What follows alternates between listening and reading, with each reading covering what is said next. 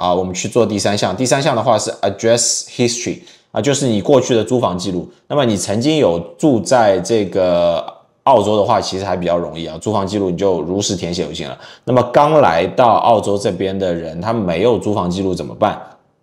啊？找一个，因为你没有的话，他基本上这个申请就通不过啊，就就递交不上去，就卡在那边了。这也是一个申请上面的一个 bug，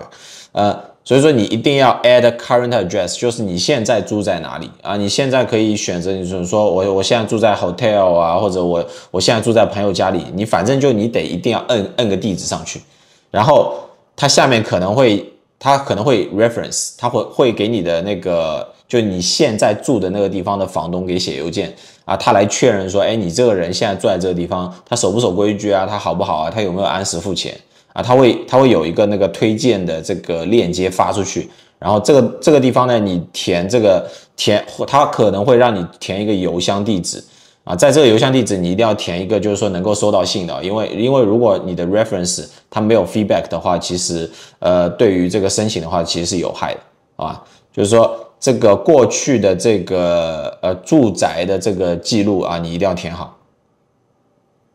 填完之后一定要确认啊，就是说这个住宅，比方说他的房东或者比方是能够帮你去呃 tick 这个 reference letter 的，好吧？他会给你发邮件，然后他会确认一些这个过去租房的一些信息，好吧？OK，这个过去的租房信息这边填完之后呢，会来到第四步啊，第四步的话是 employment。Employment 的话，就是我的工作经历啊。所有的房东或者中介，他都会比较喜欢有工作的人啊，这是一定的。但是有很多朋友，他刚来到澳洲这边，他没有工作怎么办呢？你也不一定一定要编一个啊，因为这种海外移民很常见啊。你可以直接 tick 说 I'm currently not employed，就是我现在没有工作啊，直接 take 这个就行了啊。这这一趴就完成了，这这个步骤会相当简单一点。啊，但如果说你真的想秀一下，说自己的呃财力也好啊，或者说自己过去是一个 professional 的人也好，就专业人士也好，你也可以在这边填上你你的工作性质。比方说你刚来这边，其实国内的工作还没有完全断掉的话呢，你可以填你的这个工作地址啊。填完之后，下面就是让你描述了你是你是哪家公司的。呃，你的这个，你你你过去是干嘛的？然后你公司的一些什么网站啊，还有你公司领导的一些联系方式啊，他会给你过去的这个雇主啊，他会给你发邮件来确认一下，就是说你工作是没有问题的，或者说你过去的为人是好的，类似于这类似于这种。那如果你觉得这个很麻烦的话，你直接选我我没有工作，对于申请来说呢，影响不是特别大啊。但如果你有好的背景的话，那就更好，好吧？OK，那就直接 Save 这边，Save 这边之后，Employee 完成之后呢，就非常重要的 Income 啊，Income 是一定要写的啊。如果说你如果说你有 Income 的话，你有在这边有工作或者是国内有收入来源的话呢，就一定要填，好不好？就是它它的 income 是什么类型的，然后它它多少，它是一个月发一次，还是一年发一次，还是还是每每周发一次啊？就一定要填写的表示出你是有能力负担这套房子。如果说啊你没有，就如果你如实填写说我没有任何的收入的话呢，也不是说不行，而是说你要去在下面你一定要附上你的存款证明啊，这边有 recent approve of income。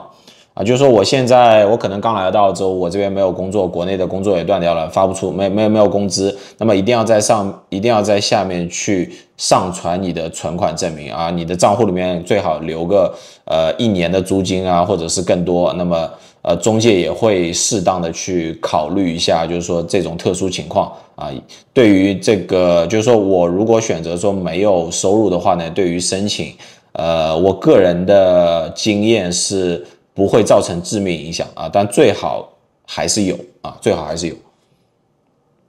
好，依然就 save back，好吧。然后 identity document 这边的话呢，就是上传呃两张两张证明啊，两张证明可能一张是驾照，一张是护照，是上传两张会比较靠谱一点啊。如果你刚来到澳洲这边没有驾照的话呢，你上传一张自己在国内的身份证也是可以的，因为这个系统就是强制要求你上传两个证明。所以说没有办法，如果你只上传一个护照的话，它就过不了。所以说第二个都第二个 ID 的话呢，你就随便找你能够证明你身份的任何的物件都可以啊，驾照也好啊，或者是身份证啊，哪怕是哪怕是 Visa 都行啊，就签证签证信那一页上传上去都行啊，这边就注意一下。OK，emergency contact 这边的话呢，就是你的紧紧急联络人，如果他联系不上你，或者这房子出了任何的问题啊，什么着火啦、小偷啊，或者是有有什么人被困在里面啦，或者怎么样，他能够紧急联，他联系不到你的话，就紧急联系人啊，这个一定要写啊，写你的朋友也好，呃，亲戚也好，anyway，就这个地方是一定要填的啊，不填的话也通过不了，好吧？这个也比较简单，大家就直接填掉就行了，没有什么特别多的技术含量。呃，最后的话，哎，这边有一个叫 tenant check，就是检查你的这个呃租客的，就是租客就指你了，就检查你的背景啊。这个其实是个收费服务，他他只是说会给你一个加成啊，就是他检查下来你这个人是很靠谱的话呢，他会给那个呃中介发一份报告啊，就证明之后这个租客是非常非常好的、非常靠谱的。但他会花费你大概三十几刀吧，所以说我觉得不是。没有必要了，就是你每申请一次，你都要做做这样做这样的动作的话，而且这个东西对你的租出租成功率并不是说百分之一百，所以说这个冤枉钱就不要花，好不好？OK，下面比较重要的是有一个叫 household people 啊，就 household 里面的信息 people，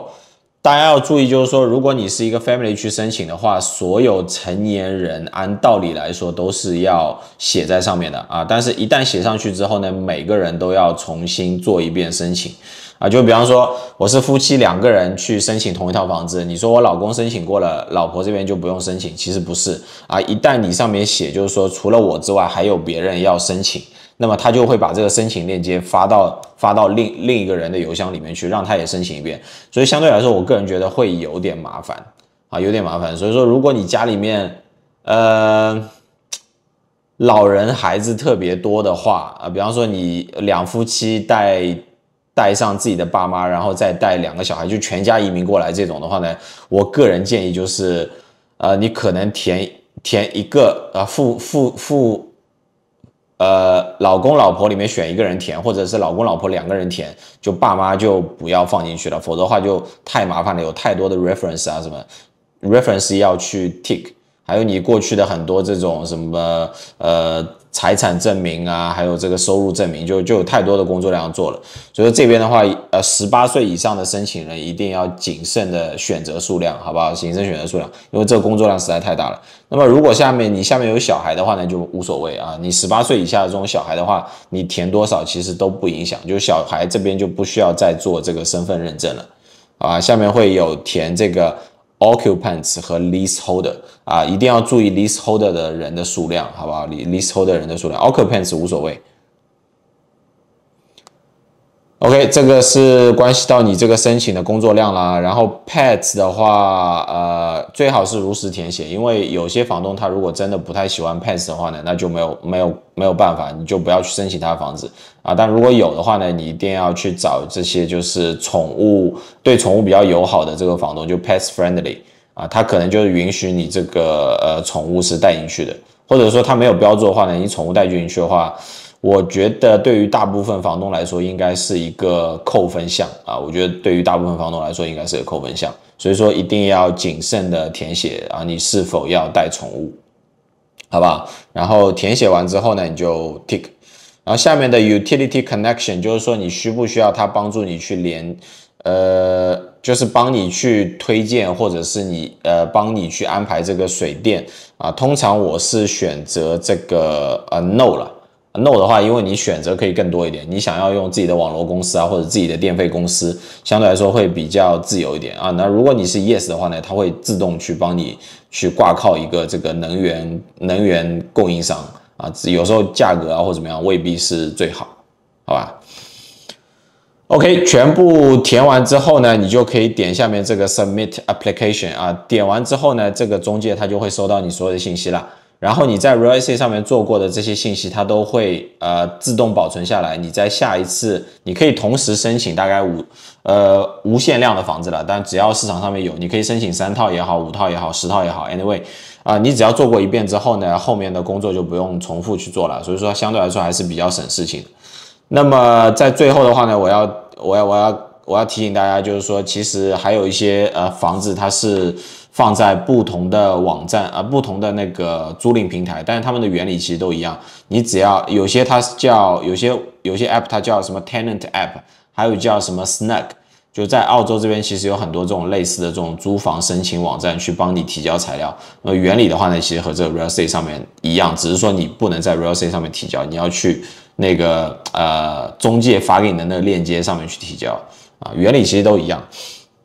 OK。然后提交完之后呢，通常你会在举个例子，如果是你是周末做这件事情的话，你会在下一周开始陆陆续续收到这个中介电话，然后中介会跟你说，OK，我们已经收到你的申请了，然后我们的这个房房间的这个开放日期是在哪里啊？你你一定要在那个开放日期的时候呢，去那个房子去看一下，因为你不去看的话，就会被。中介或者是房东认定为你是一个玩票型的租客啊，你的申请大概率不会被通过，所以说一定要去。另外要注意的就是房屋这个租房的开放时间它非常短，通常在十五分钟左右，所以说一定要准时到。我之前有碰到过，就是租客他迟到，最后就是嗯就是错过那个开放时间，你要重新再约的话呢，就耽误耽误很久。